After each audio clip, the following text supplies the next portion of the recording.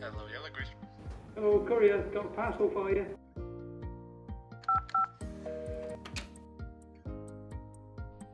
This video will show you how to enable video on your Fanvil X6.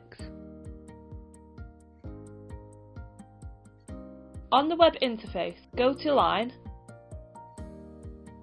and under SIP, go to Video Codecs, and change to H.264.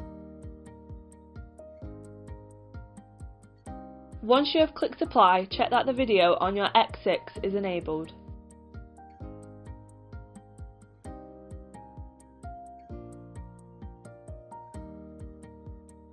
If you are still having trouble enabling video on your Fanvil X6, please give our office a call on 0333 014 4340 and one of our experts will be happy to help.